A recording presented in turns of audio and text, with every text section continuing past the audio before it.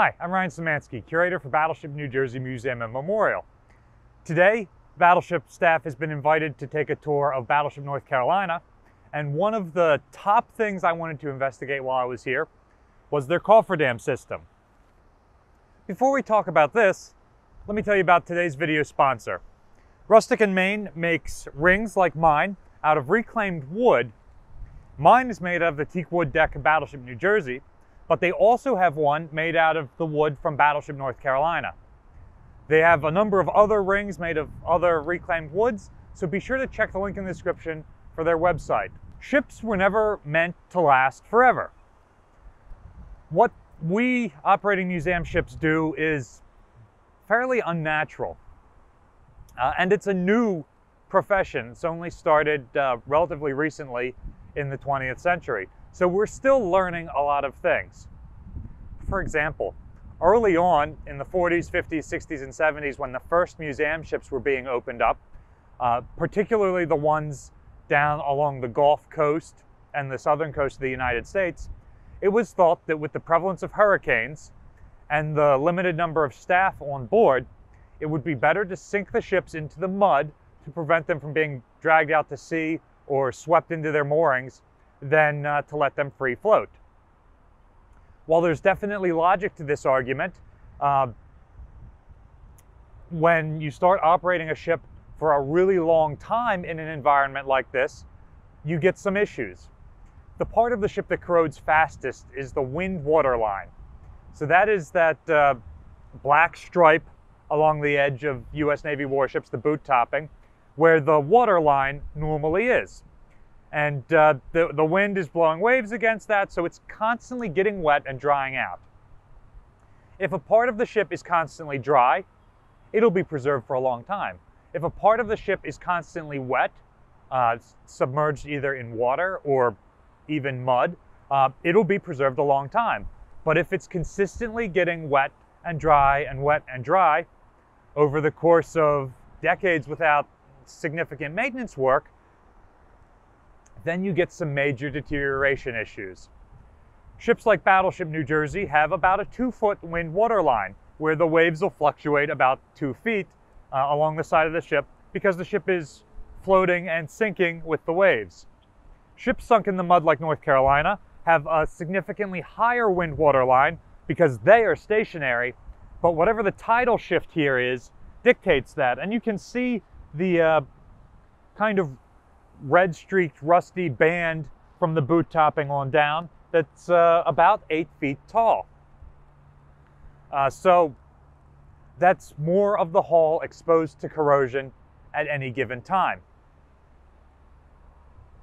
Some museum ships have started doing some really unique things to help with this preservation.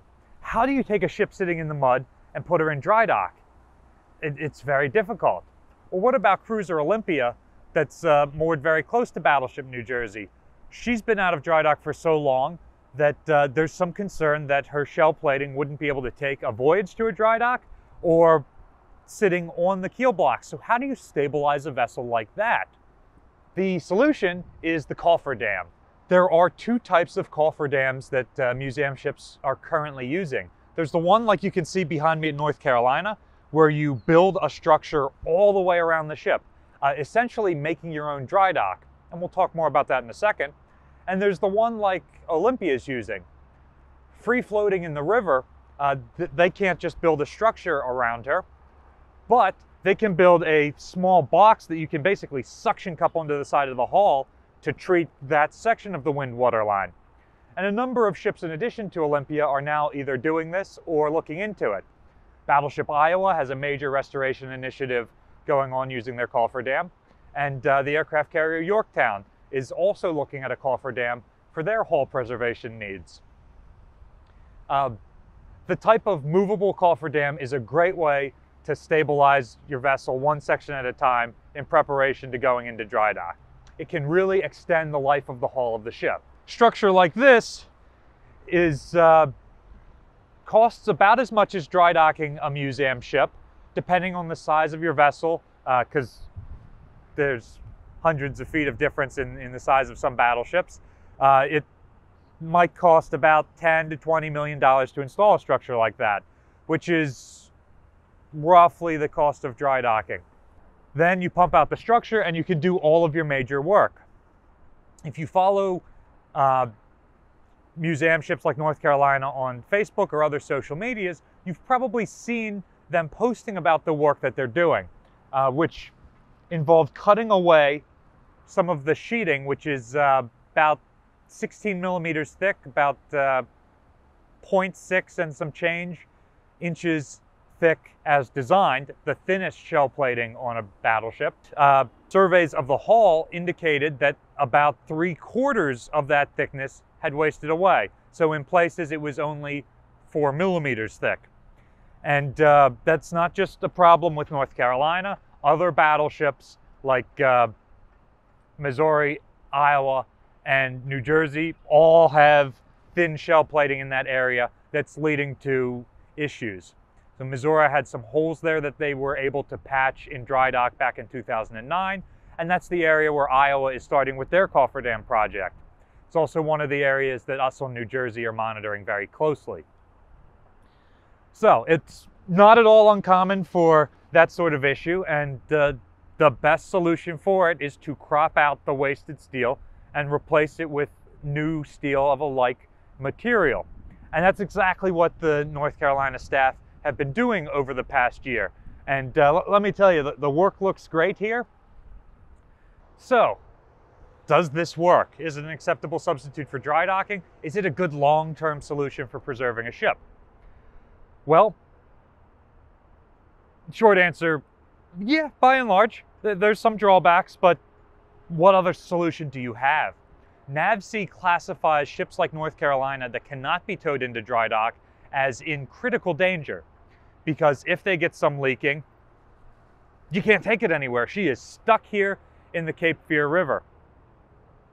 So by building a cofferdam around the ship, you can perform much of the same maintenance work you would in dry dock. Because ships like this are sunk into the mud, you can't access the entire width of the hull. What you can see here is probably only half of the below water area of the ship. That's fine. By and large, the stuff permanently submerged in the mud is not going to deteriorate quickly. And worse comes to worse, you can see they have a front end loader here. You can dig out that mud and do work. So really the only issue is the underside of the hull of the ship. How do you get down there? Well, honestly, this isn't something that's come up particularly often. Uh, Battleship Texas had some serious corrosion in their bilges, and they were able to go in from the inside and do a tremendous amount of work rebuilding the interior framing and plating uh, on the underside of the ship. They, they even jacked up boilers and engines and steering gear and things like that to get critical parts. Uh, ships like this do have a multi-bottom system that is uh, the triple bottom of North Carolina. There's about three feet in each of the two layers.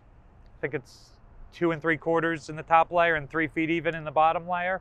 So not a lot of room to work if you go at it from the inside, but theoretically possible. You can also dig uh, under select portions of the ship.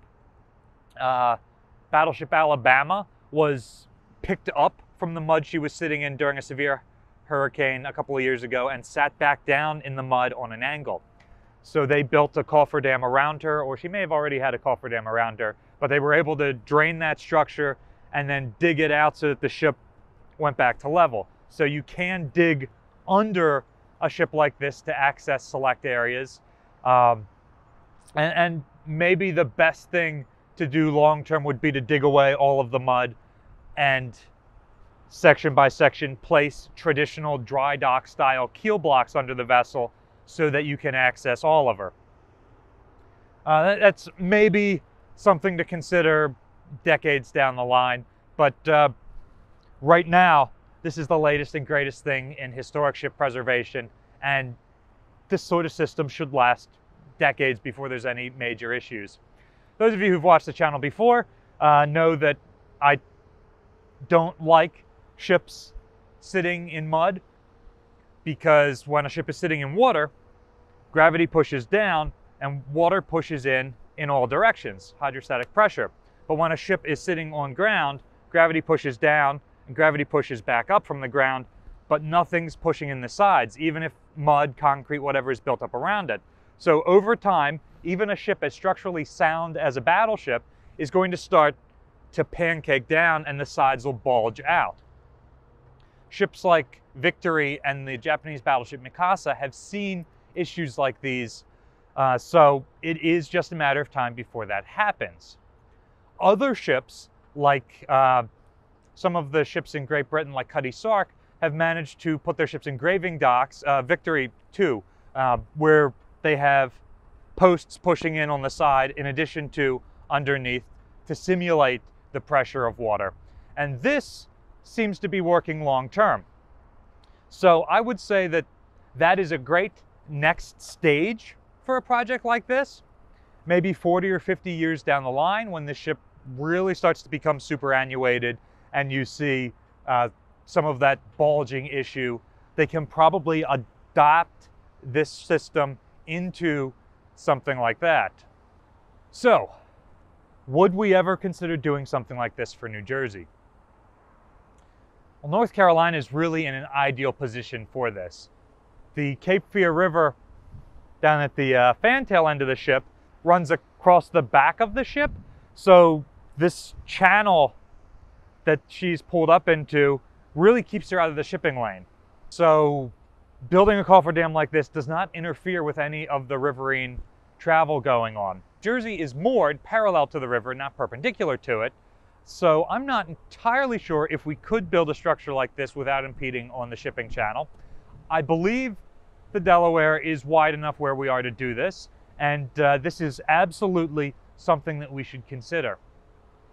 It's not going to happen this time when we dry dock New Jersey. New Jersey is overdue for dry docking, and the time it would take to plan and construct something like this would preclude us from doing it in the next couple of years. What I would do is dry dock her now sometime in the 2020s and then start looking at building a structure like this by the 2030s or 40s. That'll also give us time to see just how well this works for ships like North Carolina and Alabama. And I've got no reason to suspect it wouldn't work out well. So definitely something that we are considering. Uh, and again, that, that's the whole reason why I'm making the trip down here was to see this structure and the restoration work that they're doing. What are some other positives and negatives of keeping a ship in a cofferdam like this? I really like that it allows you to see the underwater hull body of the ship. Let us know in the comment section down below some other things we haven't thought of. Battleship New Jersey receives operating support from the New Jersey Department of State. And for this video, we were sponsored by Rustic and Main. Rustic and Main makes rings like this one out of reclaimed wood. This is a unique ring that is extremely personalized to me. It's built out of a gold band, teak from Battleship New Jersey, and oak from the inside of a whiskey barrel. So it's a very cool ring that uh, stands out among all of my peers. I, I really love it. And uh, if you're interested in something like this, or one made out of other types of wood, such as teak wood from Battleship North Carolina, or other uh, reclaimed wood, there's a link in the description. You can check that out. There's also a link in the description to Battleship North Carolina's uh, various social media pages and whatnot.